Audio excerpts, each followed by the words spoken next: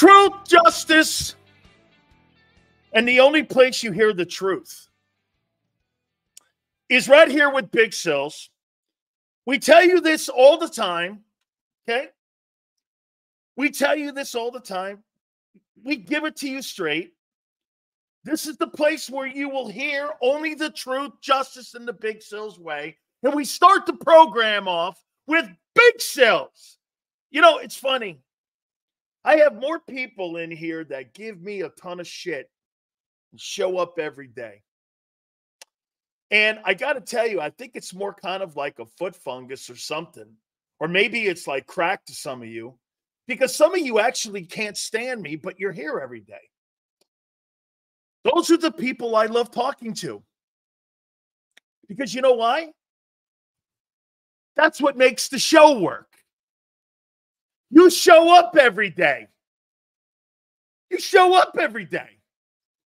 By the way, Xander Kraus will be with us at 3:30. We will have Mark Holmes in his Dallas Cowboy talk. Folks, the Dallas Cowboys are a threat. Do I believe it yet? I'm not sure. Then at 5:30 Eastern, we will have Mike Golic. He will join us and give us his spin on the first week of the National Football League season. Philly 500 couldn't make it. We gave him an open invitation. Maybe he didn't like what he saw in the first week of the Philadelphia Phillies, excuse me, the Philadelphia Eagles versus the Packers. We, we, we got a ton of stuff here, too. By the way, coordinator spoke. We're going to hit on that. But I first and foremost want to start the program off by doing this. Um, 9-11. It was a awful moment in this country's history, but it was one of the greatest times in our country because it showed us what American can be and what Americans can be. When we galvanized, we rallied around one another after our and my Pearl Harbor.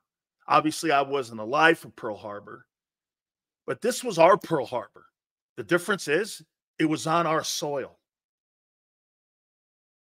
This was on our soil. This was on American soil. What happened? 3,000 people died at the Trade Center. The plane crash, also the Pentagon. I mean, you just never forget. For a brief moment in our country, nobody cared what politics you had, nobody cared what denomination you were. You only cared about being an American.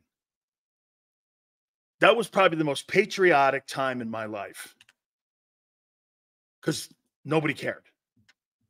It was about healing and then moving forward with vindication that we're better than you. You know why people hate Americans? Because we're better than you. We rise above. We have freedoms that no one has in the world. Whether you believe as a Republican, Democrat, Independent, it doesn't matter on days like that. Do you know when America's at its finest? Adversity. That's when we're at our finest. That's a true sign of character. You know, it's great to be a front runner, sure. But I want to know what you do when things are down. How are you acting? Pearl Harbor, United States galvanized its entire workforce to beat fascism. We did. We, we were not going to allow 3,000 people to be killed in New York City to bring us down. No way. That's the greatest part of our country. In a, in, in, in, a, in a crazy way, what happened on 9 11 makes you have hope of what our country can be and what our country is deep down. All the stuff going on right now politically is superficial because deep down Americans are good. You know why? because of our freedoms. Okay. Prince goes, Hawaii isn't in America. 1945, it wasn't a state, dickhead. Try reading a map. Um, yeah. That was the best in the worst of times. By the way, don't be sad. Just remember how great we were and are and can be. Please hit the like button. All of us in it together. I'm not sad on a day like this. It used to make me sad.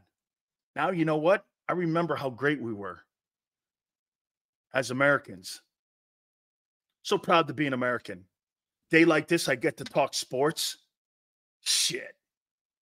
You think I could do this in China, Russia, anywhere else? No way. The shit that Big Sills and some of you talk in here? No way. Shit, they're arresting people in England right now for posting certain things. Okay? Just think about it. Guys, hit the like button. Thank you so much for what you guys have done for us the last couple weeks here. It's been insane great. Thank you. Can't wait to talk to Mike Golic. Now we get to sports.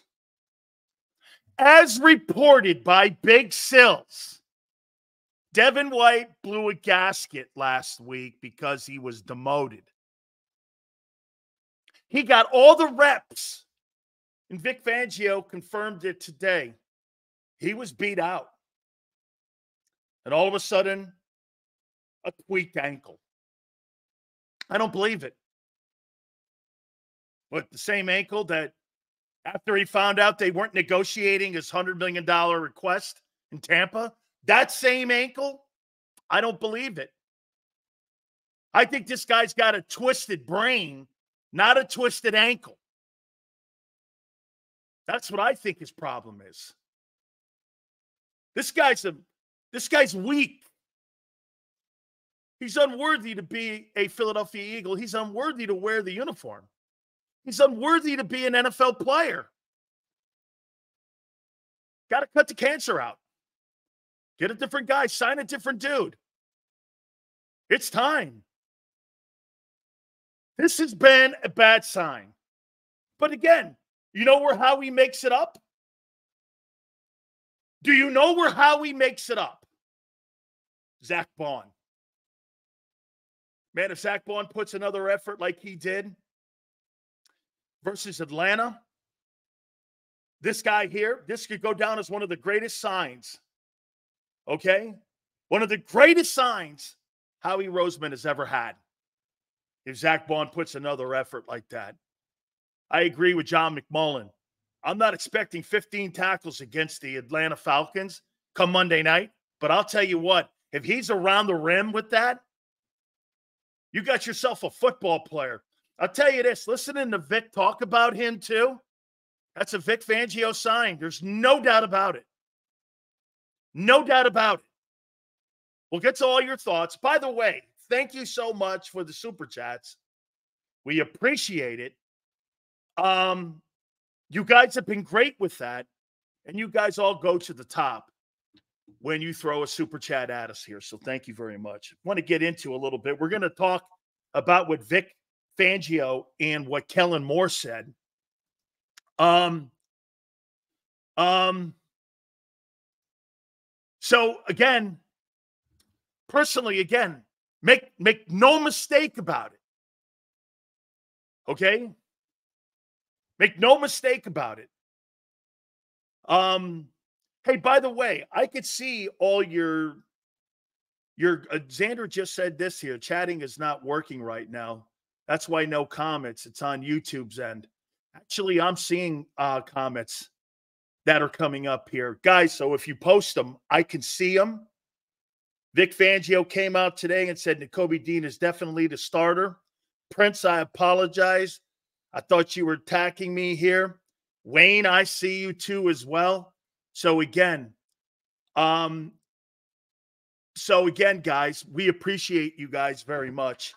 So if you could just hang tight here with us a little bit, it's with YouTube here And we'll get to all your comments here and we'll get to your thoughts here in a minute once they rectify that. So please hit the like button and we're going to get into um, a little bit here. We're going to talk about Vic and Kellen.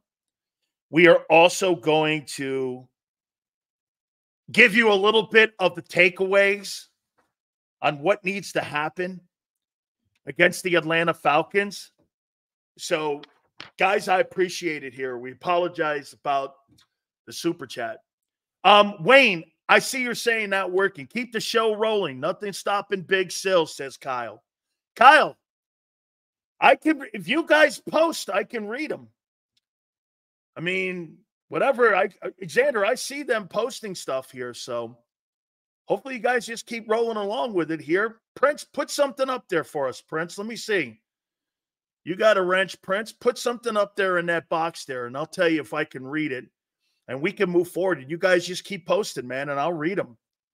So it may show up on your end that it's not sending, but I've got uh, Dan. I hate Dallas as much as you, but um, Dak's quarterback rating after Hurts throwing two picks is crazy. I know they had Jalen Hurts on PFF as the lowest rated quarterback in the National Football League. I saw John McMullen post that as well. So we'll do the coordinators first.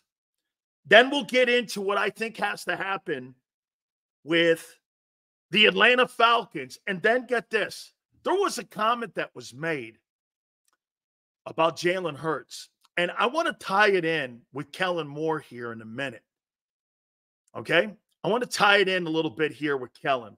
So we'll do that here, but let's start it out with Vic Fangio. Oh, I want to show you guys something first. Um, I want to throw some Josh Allen stats at you here. You guys bring up the turnovers all the time, the interceptions. And since 2020, Josh Allen has 57, 57 turnovers since 2020. In that process, Josh Allen has 177 touchdowns, 45, 42, 42. Last year, four. It's a start to 2024 season. Four. He's got 57 turnovers and 177 touchdowns. Do you know what his record is since 2020? 48 and 18. He's 48 and 18 with 177 touchdowns with nobody on the team. He doesn't have the same talent level that Hurts has in Philadelphia? He does not. Look, look at Flexen. Howie's Howie hating on the chat. He's throwing it at Howie here. I got you, Flex. Hey, Flex, I hear you, man. So you think Howie? Okay. Who cares about PFF says busy? Hey, Prince, I read your stuff. You just Prince just posted not working. Well, uh, for me, I could read what you're saying, Prince. I could totally read what you're saying. Look at flexing. Can't silence us. No one gives a shit about Allen. What a quarterback. Sensational. Sensational. Since so look at that. 177 touchdowns 48 and 18. Okay? Unbelievable. Devin White season. What happened? What happened? Cody, how you doing? We are getting an error message, Sills. Hey, hey, Prince, still getting your uh your post though, brother. Okay? Prince says it's back. Way to go, Prince. Prince says it's back. We're ready to rock and roll. Here's Nick. Thanks for the super chat, brother. We'll steamroll Atlanta. Not so fast, my friend. If we play clean and smart football, we have much more talent than them. Cousins looked awful. and it's on prime time. Thank you very much. Okay. Yes, sir. 48 and 18. Actually, he's 49 and 19 since 2020. What a quarterback. What an amazing quarterback Josh Allen is. All right. Let's get to Vic Fangio. Then we'll get to the Atlanta Falcons. What a quarterback. Good night. Unbelievable. Let's see here. Um Sills, in Slay's video today release, he said that Vic's been practicing the red zone defense every day, having it on Fridays like prior DCs did. That's good stuff. And by the way, that was one of the best things that they did was red zone defense. So let's get into it here. This is Vic Fangio talking. Actually, I'm going to do Vic second. I'm going to do Kellen Moore first. We're going to do Kellen. And I want, I want, I want to talk more with Kellen Moore here about the offense. And then I'm going to play a soundbite here from a, television show that I saw a comment on. And I'm going to show you something here of why Jalen Hurts has struggled mightily and will struggle mightily. But I'll show you something the impact that Kellen Moore has had on the football team. Okay, here we go. Kellen Moore goes like this first game. He goes like this. There's no questions. Um, he could have been a little bit better in some situations when it came to the play calling.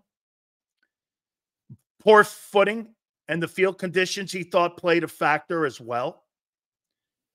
Um, he thought Jalen did a really nice job in handling the blitz. Um, no, get this. Ded's the Jew. I think you're back to predictability, and I'm going to show you why. Okay? I think you're back to predictability. And this thing will be, unless Kellen Moore evolves the offense, it'll be predictable again. Okay. All right. Um, he thought Mekhi Becton and Cam Jurgens did a really nice job. And Mekhi played excellent football, kept everyone in front of him. I thought Mekhi played well too. And by the way, if you watch the 22, it looks like he played really good. He said Barkley is a premier player. Make no mistake about that. Saquon Barkley is a premier player, and it's going to just be game to game on how they use him in situations, whether in the passing game or whether it's going to be in the run game.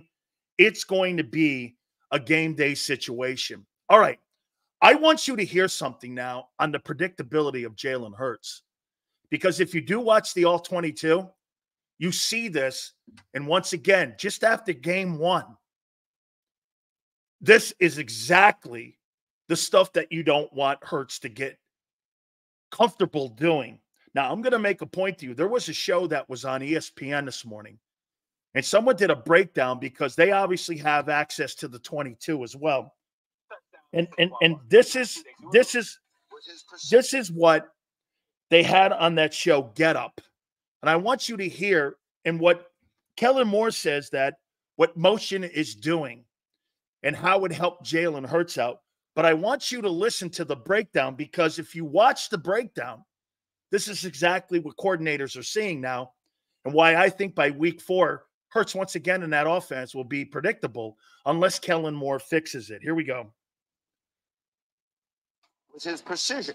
He was 0 for 5 on tight window throws, which means the target had fewer than a yard of separation from the defender. One of those was those three turnovers are tied for the most in a game in his career. So we gave Hawk a little assignment. Mm-hmm. We said, Hawk, I want you to study the tape yep. of Jalen Hurts in week one and show me exactly what you see. And I think yeah. you found a very interesting line of delineation. It, uh, the, the, way that Kellen Moore deployed pre-snap motion helped Jalen Hurts significantly. So here's the touchdown to Saquon Barkley. What you're going to see, they do a little shift. They're going to send the receiver in an orbit motion on a play action wheel concept with two posts to the to the front side. Mhm. Now, what this does is it shifts the, the Packers linebackers over and gives Sa- Saquon Barkley this edge.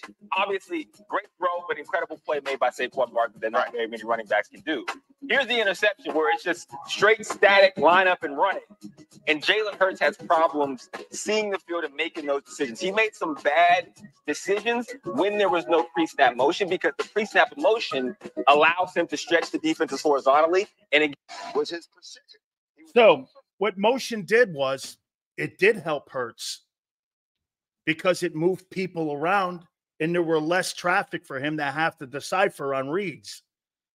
Well, what a coordinator is going to see is every time you have motion, you're going to know that Jalen Hurts, that motion is trying to dictate moving people around. Pretty soon you're going to be come um, uh, predictable, and you're going to know every time they run that motion or the majority of the time they run that motion. And when you start figuring out what false motion is and false reads in the motion, once you start figuring that out, you still know he can't read a defense. That's exactly what you see. When he didn't have motion, he was terrible. He was 0 for 5 in it. But when he had it, it moved people around. So as a coordinator now, for me, again, once again, look at this guy here. Says that we're making this up. Did you not just hear what the guy said? When you do is just watch it. That's not making it up. He was 0 for 5. What do you how is that making it up? Get holy shit. Look at this guy. Hey, I'm sorry you don't want to hear this about your boy, but it's a fact. Okay? This is a fact, dude. precision.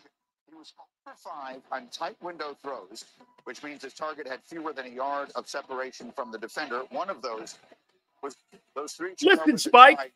The most in a game in his career. So we gave Hawk a little assignment. We said, Hawk, I want you to study the tape Yep. of Jalen Hurts in week one and show me exactly what you see. And I think Yeah. you found a very interesting line of delineation. It, uh, the, the way that Kellen Moore deployed pre-snap motion helped Jalen Hurts significantly. So here's the touchdown to Saquon Barkley. What you're going to see, they do a little shift. They're going to send the receiver in an orbit motion on a play action DeVonta. wheel concept with two posts to the to the front side. Mhm. Now, what this does is it shifts the, the Packers linebackers over and gives Sa- Saquon Barkley this edge. Obviously, great throw, but incredible play made by Saquon Barkley that not Right. very many running backs can do. Here's the interception where it's just straight static line up and running. And Jalen Hurts has problems seeing the field and making those decisions. He made some bad decisions when there was no pre-snap motion because the pre-snap motion allows him to stretch the defenses horizontally and it Was his. At the end of the day, Jalen Hurts cannot read a defense still. It's going to take time. Those are facts. Kellen Moore has been an impact on him. But what that happens is after a while, Hurts has got to be better. If it's just drop back and throw it, he's not very good. And like what Xander was trying to tell me about throwing across the middle, if you don't have motion, and when he did throw across the middle, he had two turnovers. This guy's still struggling from a year ago. And believe me, you know who made that touchdown pass happen with Barkley? It was DeVonta in motion and AJ the other way. That's what opened that play up. It was a really good design play by Moore. That's what people are looking at today. Okay?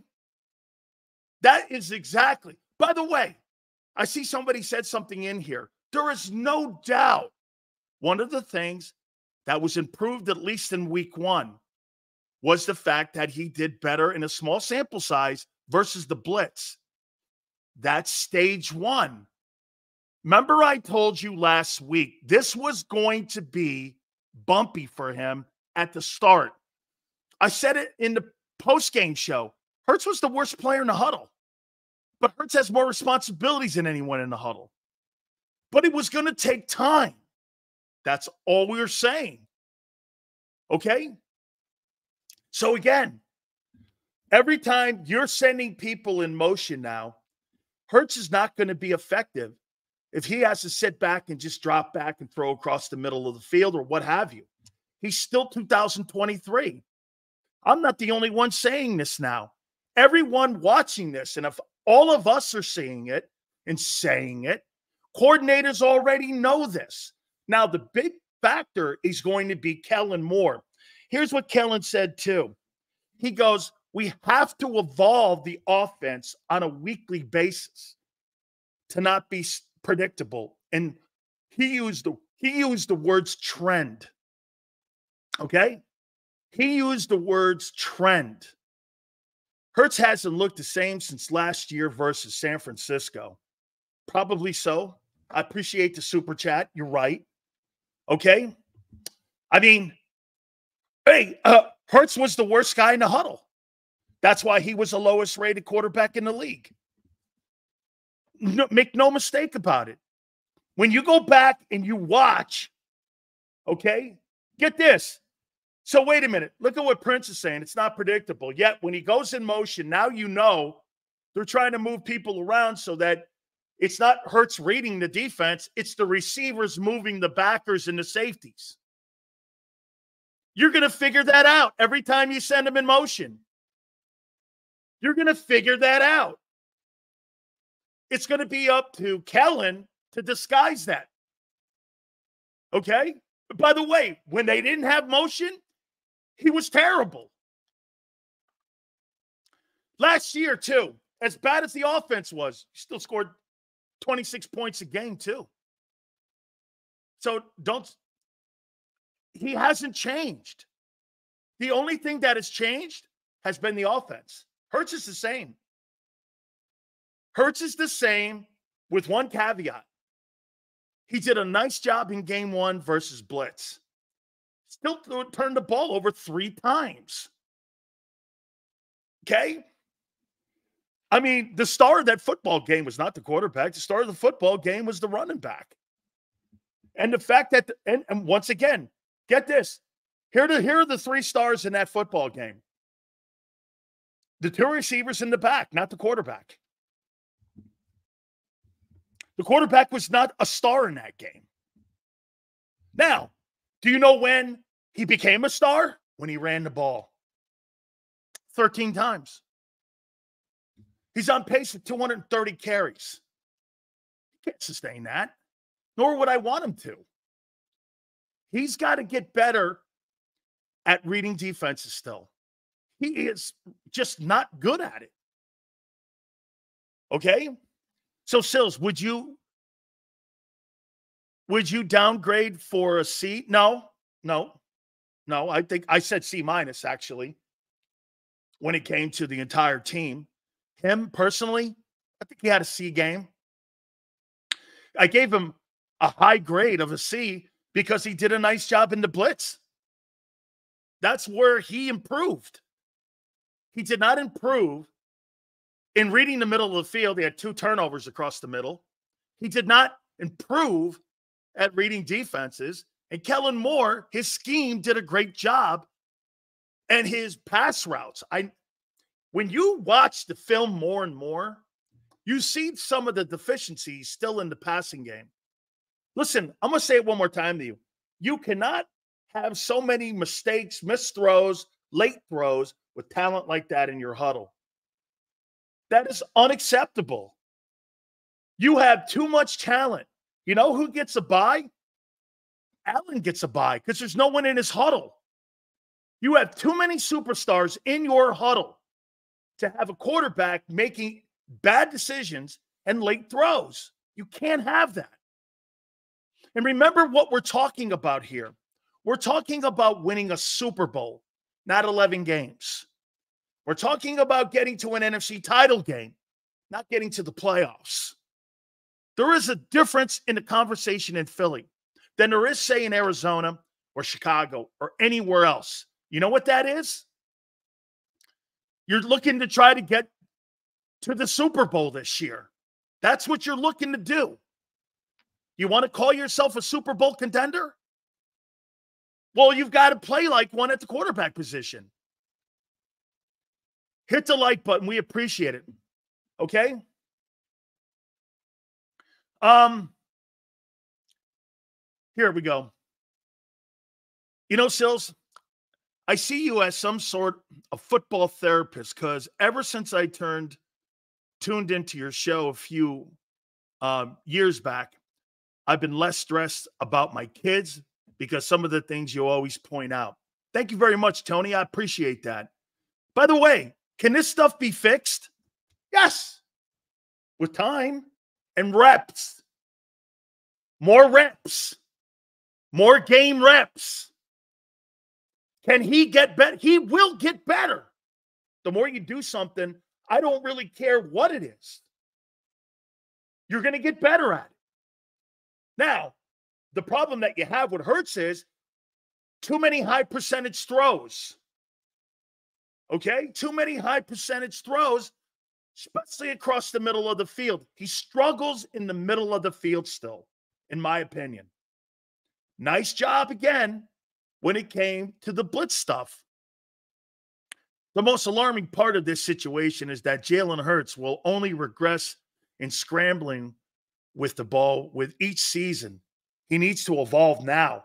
Hey, and and and, and Gooby, one of the things you have to have evolving now is this. You've got to evolve with that kind of talent you have in the huddle. Nobody on the planet. I'll tell you what, Brock Purdy doesn't struggle with his talent. He's not late on throws. He challenges the middle of the field. Okay? And he doesn't need a ton of motion. That's because Kyle Shanahan attacks the middle of the field. Think about what they do. They have to move people around pre snap for Hurts to be successful in the passing game, or he's not. That's not a pro quarterback. That's that's not a pro quarterback. The quarterback is supposed to move the guys. Okay? The quarterback is, not the coaches. Okay. So, I mean, again, and we're not talking about a high powered defense on that side of the football here. He's got to get better at progression reading. Let's continue. Um, he was really impressed, Kellen Moore. Johnny Mitchell, if you go back and watch him, Xander picked this kid out in the exhibition season and thought that there'd be a um, role for him on the team. You know what the role is in the run game? This guy blows people up in the run game. I mean, he does a nice job when it comes to blocking in the run game. I mean, excellent. Watch him blow guys up. He did an excellent job. When they put him out there, I think he had like 15 plays. He did a spectacular job. Okay. And you watch him, you point him out and you single him out. He looks pretty damn good. The concerning part is Hurts should be further along. Wait a minute. Wait a minute. Dual threat. How can you be further along when you're constantly interacting and changing out coordinators all the time? How can he be further along? How, how could he actually be further along when you're constantly changing different uh, coordinators and you're having different philosophies, different terminologies? I told you, Jalen Hurts' uh, development is going to be a rocky development in Philadelphia until they get stable at the at the coordinator position. Sills, Jalen Hurts transition from 23 to 24 looks like a kid who went from driving an automatic transmission to driving a manual transmission. Steering the car is the same, but he's learning the pedals. Absolutely. That's exactly what went on in that game against the Packers. You could see he was in training wheels still, Bob. Okay. He struggled again without the motion and seeing the field. Get this the motion clouded and covered up his inability to read defenses. That's all motion has done. When you dissect it and you break it down like that, other coordinators and Raheem Morris is breaking that down. That's what they're going to do. They're going they know this going into Monday night now. That he was 0 for 5 in premium throws without motion and with motion, he was great. They were moving guys around. And I'll tell you something one more time. DeVonta Smith and AJ Brown are making Hurts a better player, not vice versa. Okay. That's a team winning in spite of your quarterback. Those guys made that Saquon Barkley play happen. Why? They were decoys into play because they moved backers one way and the other, and they were sliding. And Barkley, it made a great play down the sideline. You know, the guy's wrong. I thought Hurts threw a great pass down the sideline as well because he put in a play. He, he didn't want to give Jalen too much. I, I think that was a nice throw. So I disagree a little bit with that take because I thought it was a nice throw. Um, okay. So once again, if you really look at it, he's still Jalen Hurts 2023 with the caveat of they made an emphasis on, without question, two things in that game against the Packers. And two things you come out. And by the way, I saw somebody in here say something. Sills is picking things out. Those are the things that stop you from winning Super Bowls. Those are the things that you have to be to be a great quarterback. Don't you want to be a great quarterback? Or do you want to just be a guy who puts up numbers like Kirk Cousins and then goes home and collects your money? We're talking about winning a Super Bowl again. We're not talking about a scenario. I'm not trying to get him better. Dude, some of you take this criticism as something that it's a shot. This is where he has to fucking get better. Don't you want your guy to get better? Get this. Look at this here. An anti Jalen show? It's pointing out where he has to improve for you to win that Super Bowl. Boy, Spike, you without a doubt are a pussy. There is no doubt about it, man. You are really soft as shit. There is no doubt about it. You could never be coached by a coach in any sport whatsoever. Because I'm pointing out something here to get the kid better. You're taking it as a shot at the kid. It's not a shot. I don't give a shit about Jalen Hurts as a human being. I could care less. I could totally care less. Okay, I'm talking about getting the kid better. Don't you want him to get better? Dude, there is not a dude on the planet, on the planet, on the planet right now who doesn't want to get better in the NFL and point out the deficiencies in the team. Jalen's problem is decision making. He was way off when it came to decision making on Friday night. Um, it was horrible. As for motion, 49ers run it every play. You know what, Prince? Great take. And thank you for the super chat. Hey, Prince, the difference is, is that Brock Purdy's not late on his throws and he makes great decisions. It's one thing to have, and I agree with you, Prince. I personally, without a doubt, agree that the motion helps out Brock Purdy a ton. Okay? No question about it. No doubt about it. Prince, I'm talking about hey, if Jalen Hurts cleans that shit up, he'll put you in the Super Bowl. And you know what? What's great about talking to you here on this, Prince? Bottom line is, you and I know that that's right. We're not talking about the kid not being able, not working at it, not working hard at it. He's going to. But this is going to take time. You get this. You guys are like, and still scored 34 points. That's the entire point of this. That's the entire point of this conversation. He played like that in circumstances and was reckless with the ball and you still won. And you still put 34 up. That's why it's a C minus effort from a team that has so much more room. Look, I'm not going to sit here and make you feel good about yourself. I'm not talking about you, Prince. I, I'm I'm not going to sit here and make you feel better about yourself. I'm just going to tell you the way it is. That's right. RC3. RC3's coming around. RC3, you're right. They clean that shit up. That offense can be scary. It can be scary. Right now, it's not. Okay? Hey, it can be scary. This is where I'm at. That's what I'm talking about. Guys, please hit the like button. Seals, I think Hurts saw the coverage. I don't think he trusts what he sees yet. You know, hey, Bob, you know why he doesn't trust what he sees yet? Reps. Reps. The more he does it, the more he'll get confident. The more he does it, the more he'll feel better at it. Okay? You're late on your throws when you're not believing in what you're seeing. Trust comes with film work and after the fact and repetitions. Thank you, Spike. I appreciate it. Thank you, brother. Guys, that's what we're talking about here. Okay? No, no, no, no, no, no.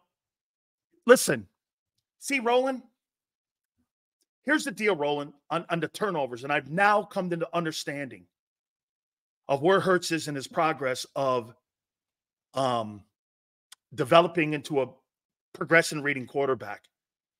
You know why? Because the turnovers are going to be high as he makes his transition. The numbers should come down. The turnovers should come down. Okay? The turnovers should come down the more reps he gets. That's what Moore's even saying.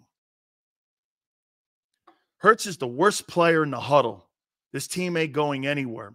If he doesn't step up, he has the um, Avengers on this team. No excuses for him. Crowley, here's the deal though.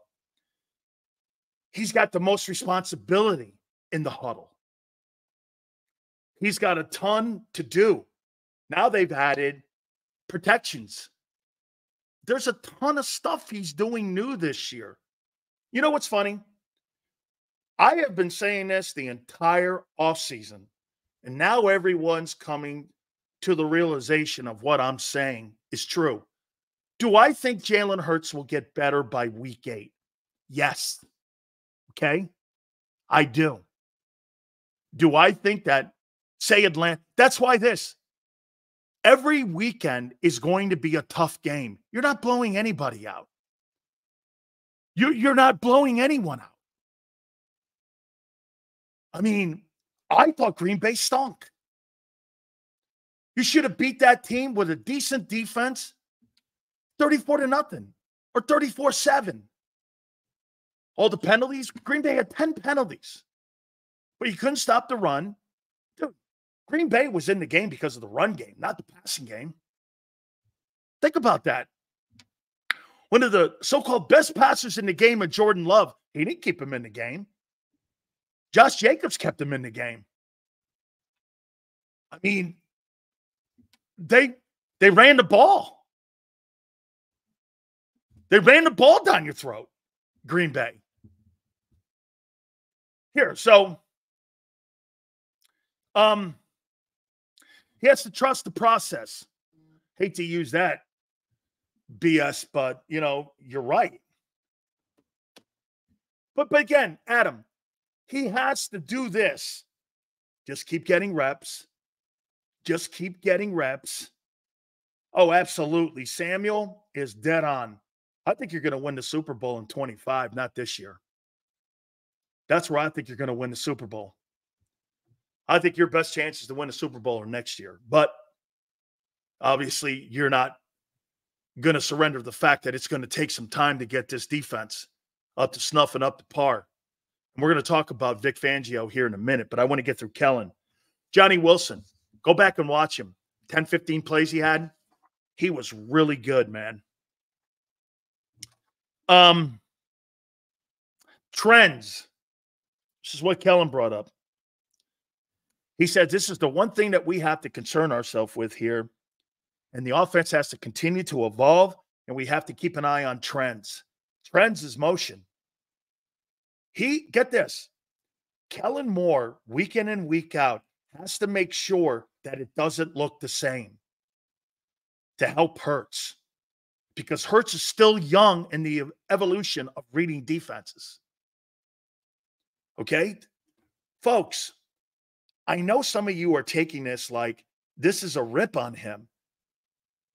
How in the world could you think that Jalen Hurts has been educated right as a progressive quarterback or a progression quarterback in the NFL when all of you bring up the most important thing with all the different terminologies and systems? By the way, that Shane Steichen system that he ran at 22, as I told you, this is a brand new football offensive playbook. There is nothing that resembles 2022 to what we're seeing right now. Nothing. There's nothing remote. They run that 22 offense in Indianapolis, not in Philadelphia, Pennsylvania anymore. There's some, there's some, there's some leftover plays from that 22 team, but that playbook is gone. This is a completely different dude. Shane Steichen wasn't using DeVonta Smith and AJ Brown as decoys in the passing game. They were throwing to one guy, him, him, and no one else. And so get this, like Diego just said, when Hurts in the offseason said this is a 95% new offense, he was speaking the truth. He was telling the truth. Organization, for some reason, and by the way, why do you think the organization, Xander, think about this. Why do you think the organization had a cow with Hurts saying that the offense was brand new? You know why? Because it's an indictment on Nick Sirianni that the offense didn't evolve. Let me show you another part of evolving offenses. I didn't know that in Baltimore, Lamar Jackson, when he won the MVP in 17 and he led the NFL in passing touchdowns, I didn't know that that offense wasn't good enough for him. But you know what happened? It didn't evolve. What'd they do? They fired a coordinator in Baltimore that helped that guy lead the NFL in passing touchdowns with 3,100 passing yards. I'll say it again 31 or 3,200 passing yards in 17. 3,200 yards. He led the NFL in touchdown passes and won the most valuable player award, the first one. They fired him. Why? Became predictable. They fired Greg Roman. The, the offense, people were starting to get accustomed to what they were doing. Can you imagine that? You helped the guy win the MVP, lead the NFL in touchdown passes, and you fired him. Why? Became too predictable. That's what's happened with Hurts. They moved off the 22 offense because it was too predictable and dangerous. The only thing that resembled the 22 offense in that game past Friday was what? The 13 carries. The 13 carries is the only thing that resembled the 2022 offense. They're trying to evolve off that. That's what Kellen Moore said today. Okay? This is all about development. You know what would be the absolute crime? All this work you're doing. And if Kellen's not here next year, back to square one. Because this is good. You're actually, for the first time, teaching this guy to be a modern day NFL passer. And you know what? Does he have the physical school skills to do it? Yes. But this is going to be, hey, let me guys ask you this. I'll, I'll give you another example. Was he, did Andy Reid make Michael Vick a better passer than any time in his early career when he was in Atlanta? Dude, the answer is yes. The answer is yes. He made him a better passer. Why? Because he was teaching him progression trees. And Vick, like you said, and KC, Vick even said it. But Vick was in his like what, ninth year? That's called evolution. That's called up in your game. Michael Vick, I remember him saying, and I'm going to kind of uh, paraphrase it. He's like, I wish I had Andy early in my career. I wish I had him earlier in my career. I'd be a further along in my development. The same thing with Hurts. Seals the real trend tendency. Hey, Bob, you sound like a coach. Is Jalen Hurts ball, uh, bailing out to his right instead of climbing the pocket? You mean you mean a, a Bob? I'm assuming stepping up in the pocket. These are designed to move quarterbacks off their spot. Jalen Hurts' default is to the right. Eliminate 75% of the field. Correct. And what happens too, Bob, when you move right? You put a you put another defender on the field called the sideline. So you're not playing just against 11 guys, you're playing against 12 guys when you go to the side of the field. So you got a 12th dude you're dealing with now because you make the sideline closer and you make limited space. Okay? Guys, this is not a rip session. That's right, Jason. You shrink the field. Jalen is learning, but he made it harder on himself by rolling right. That's what Bob's saying. When he rolls right like that, that's a comfort zone. He makes it harder on himself. Stay in the pocket, step up. Cam did a nice job, and so did Mekhi. There weren't a lot of people in his face up the middle. And I don't believe he's a coward. I just think he needs to step up in the pocket. But what happens when you step up in the pocket? You got limited passing lanes. You're not, you know, when you step out and you roll around, this is the one thing also that really hurt Aaron Rodgers against the 49ers on Monday.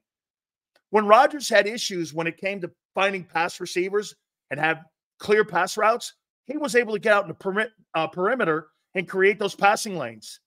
Well, he can't do that because he doesn't have the wheels anymore. Okay? He, he doesn't have the wheels. Can he win just by being a pocket passer? I don't know. Now, is it week one in rust? Maybe. Maybe. Okay? Maybe. Stills, not only does Hurts run right, Purdy did too against the Jets and missed by a mile. Anytime you move a quarterback off his spot, Brock Purdy is not a very mobile guy. He looks it, but he's not. And I mean by mobile guy on the throw. He is a point guy. Kurt Warner, Tony Dungy told me numerous times, and and and so did Monte Kiffin. You know how you get to great quarterbacks? Move them off their spot. Move them off their spot. That's again the issue that you get when we're talking about how you get to a good quarterback. By the way, I know some of you think you're going to blow Atlanta out. You're not going to blow Atlanta out with no rush and no pressure. You're, you're just not. That game will be closer and Atlanta will be better. You know why? Because you have no pressure. We're going to get to Atlanta here in a minute. But again, Kellen Moore is talking about trends. And he said that the Falcons have some pretty good ball players. Judon was a factor. Um, their two safeties are good football players. Okay. I mean, they are. They're exceptional. Um, they're exceptional. Let's go to Vic Fangio now. Guys, please hit the like button. Jason says this. Jason, that's field and had a lot to do. It did. It did. I'm not going to lie. And you know, you know why? Vic Fangio doesn't really make excuses, and he brought it up too. I do think it had a lot to do with the footing and getting uh, to the to the passer here. I I do. I I will give that to you. But let me get to Vic Fangio now. Then we'll do the Atlanta Falcons. Here we go. Said his run defense was poor. It was 163 on the ground. Second half, 10 yards of carry. Playing against a pretty good back and a good offensive line. Matthews and um, Lindstrom are pretty good players in the middle there. The tackle in the, uh, the tackle in the center are pretty good ball players. It's a pretty good old line, top five. And against that defensive front, who underachieved against the Packers, That will be a challenge. He said Quinyon Mitchell played very well. And when you watch him on the 22, he's right. I heard the guys talking. There's a decision to be made. I'm going to say it one more time to you. You cannot put Avonte Maddox in the slot. And with the injury to Isaiah Rodgers, you're limited now in having to play Mitchell over on the corner. But you could tell just by the press conference, Vic would rather prefer to have Quinyon Mitchell in the slot in the middle of the field with his athleticism so that he could cover more of the field. Remember something with a corner. Look at how ineffective, but yet effective Slay was. Made no plays. They didn't challenge him. You want Quinyon Mitchell on the field making plays. He's your most athletic secondary player. So you're limited back there in decision making on what you're going to do. Okay. If Isaiah Rodgers comes back, I think Vic is going to put Isaiah out there on the corner and put him in the slot. I'm talking Quinyon Mitchell. You know why?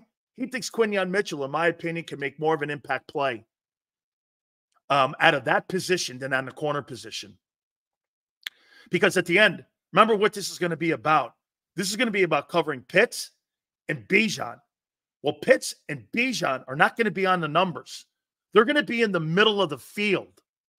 There's going to be screen plays. There's going to be scene plays, and they're going to throw to the hash. Quinyon Mitchell on the corner doesn't help me. They got London, who's a good player, but he's the lesser of those other two dudes. Okay? He's the lesser. Mitchell, to me, will make more sense making plays in the middle of the field because he's your more athletic guy. Avonte Maddox, I don't know what is wrong with him, but maybe week one, but he's he stunk. And Gardner Johnson, holy shit. I'm assuming that was week one on him as well. But between Avonte Maddox and Gardner Johnson, they both were terrible. Hit the like button here. Um, I'll tell you what, I learned I learned something about Vic Fangio. Vic Fangio said that he saw him in New Orleans, Zack Baun. And with the limited amount of plays and limited amount of football that he had at position when he was in New Orleans, he said on tape, I thought he could do it. I didn't know he could do it.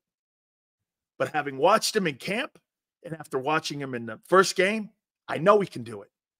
And he can play in the middle. And that is clearly a recommendation that Vic wanted this guy on the team and how he went and got him. That's working together as an organization. That's really good teamwork by Roseman and Vic. That showed me a little bit there also that Howie is working with Vic. It's good. I did, I thought he was just, hey, this is my decision. And that's that's not true there. Fangio said, I thought he could do it. I wasn't sure he could, but now I know he can.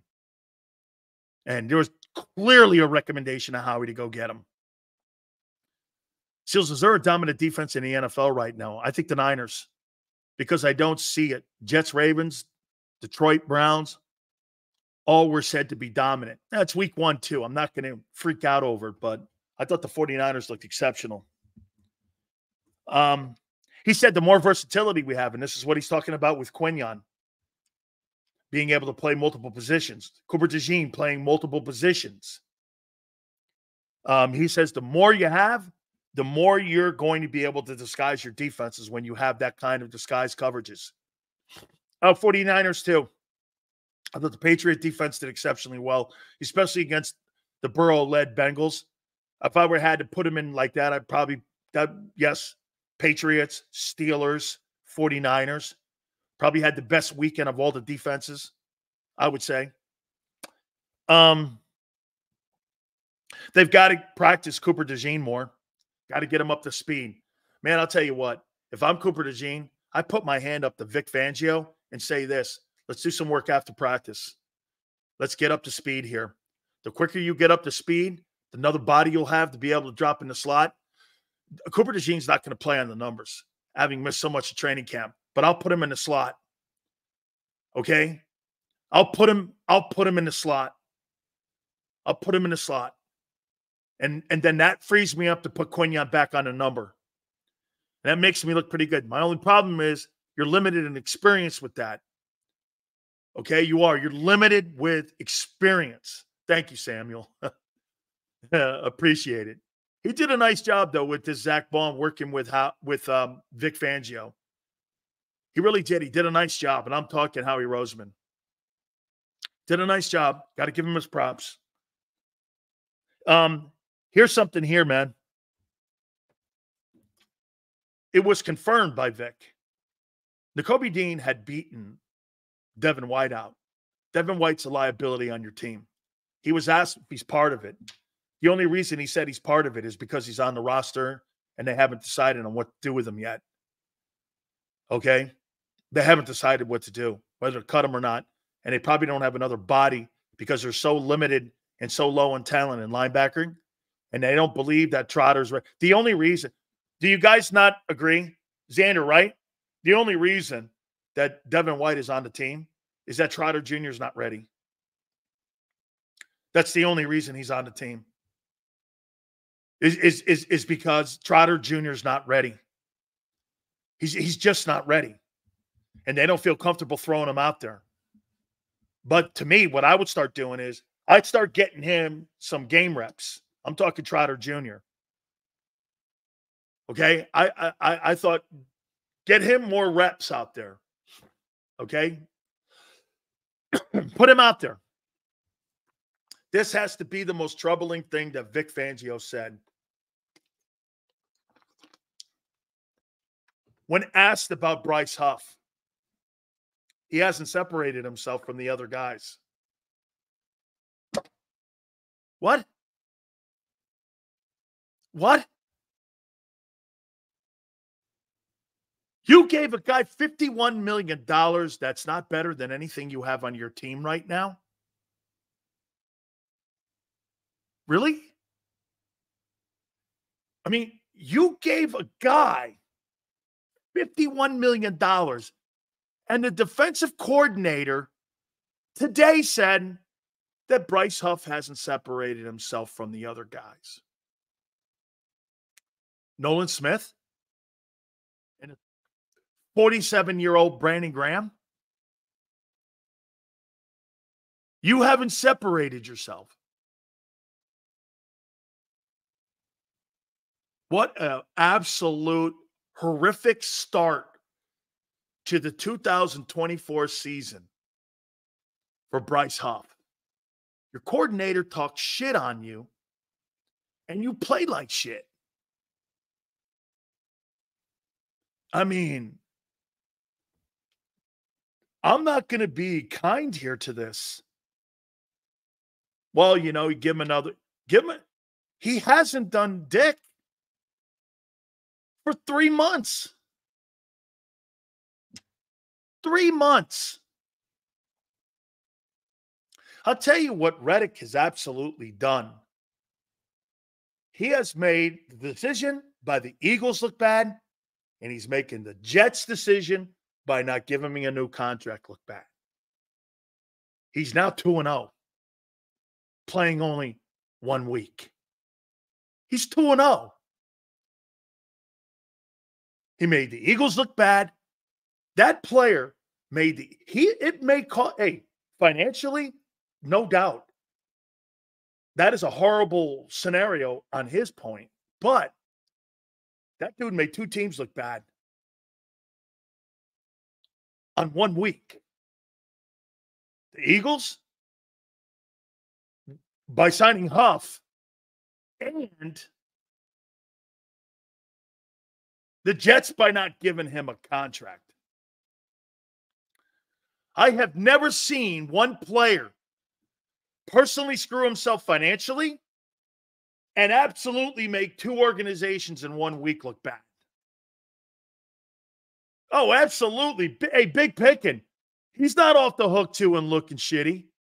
Losing economic money like that, you'll never get back. You might as well light it up, throw it in a trash can, and light it on fire. Okay. I mean, yeah, Abe, here's the deal, Abe. This whole thing could have been resolved if you gave Reddick five more million bucks. Think about that. I mean, that guy made two teams look bad.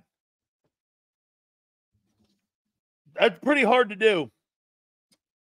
He made a comment about Brandon Graham. I told Brandon Graham he's a good player. This is no ceremonial um, retirement tour. He's going to play. Good for him. Hey, by the way, nobody thought that Brandon Graham was going to be a bad player this year. But Brandon Graham will be a bad football player in December if this guy's playing 50 reps, at 36 years old. Man, I mean, he goes, he's, and somebody asks, is he on a pitch count? Like, they can't have him on a pitch count. They need his play right now because Nolan Smith and, um, what's his name? Huff are not good right now. So good for the good. I mean, hey, Brandon Graham goes, he's a good player. Or um Vic goes, Brandon Graham's a good ball player. He's a very good ball player, and he's gonna play.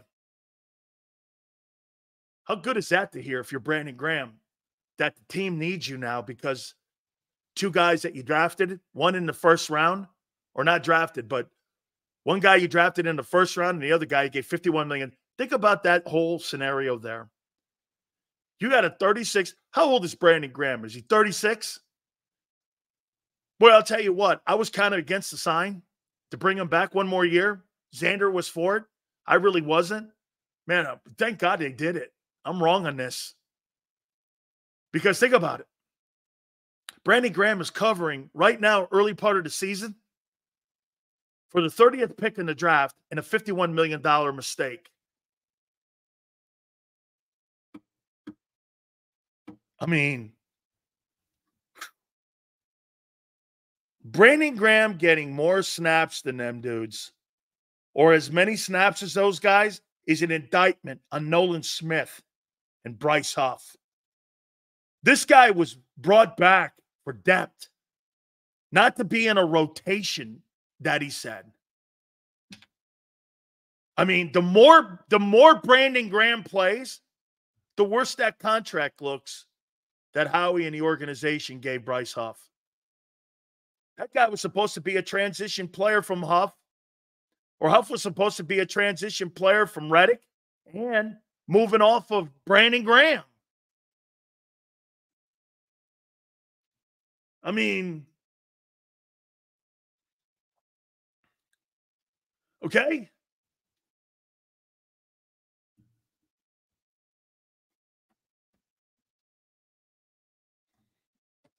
Let me finish this up, and we're gonna we're gonna get and move into up in the rotation. Xander Kraus here. He said some of the missed tackles were misfits in the run defense. He said Jalen Carter got double teamed. He can't lose his poise. His comments on Reed Blankenship smart player, calm player, instinctive player. You know what that usually means? Not a lot of athleticism. And all the things that keep him on the field are all those intangibles. That's why Cooper DeJean is going to take his job one day. Okay. So I thought it was an indictment. Think about that for a minute here. Boy, you do not want Vic Fangio talking about Bryce Huff. You just do not. Because I've never heard him say one positive thing about it. When it comes to his play, it's all conjecture. I've never heard him say a positive thing about him. I love how honest Vic is, man. I love him. Me too. Me too. Joseph, me too. All right, we're going to bring up Xander Kraus early in the rotation here. And don't forget, too, Mark Holmes, your big opponent could be the Dallas Cowboys. Am I sold yet? I think the New Orleans game is going to tell me a little bit more about uh, the Cowboys. I want to see him do it again. It was a great performance against the Cleveland Browns. No Philly 500. He can't come aboard. And we will have Mike Golic with us at 5:30 Eastern time. We'll get uh, Mike's thoughts on week one of the National Football League. But let's bring up um, Xander Kraus now. 365 does a great job with John and them dudes. How you doing, brother? Shells, what's going on, man? Thanks for slotting me in a little bit early today. What did you make of what I said about uh, some of the things about Jalen Hurts and the motion that? And, and again, Xander, did you hear that clip I played? Yeah, replay it for me real quick. Okay, um, if, you, if you have it handy. I do, and I thought it was interesting because this is kind of what I saw on the all on the all twenty two here. Okay, so this was on Get Up, and they broke down Jalen Hurts' play against the Packers, and they were talking about motion. And this is what I've been saying about it, but it was good to hear someone else break it down. Here we go. His precision. He was 0 for 5 on tight window throws, which means his target had fewer than a yard of separation from the defender. One of those was those three turnovers are tied for the most in a game in his career. So we gave Hawk a little assignment. Mm-hmm. We said, Hawk, I want you to study the tape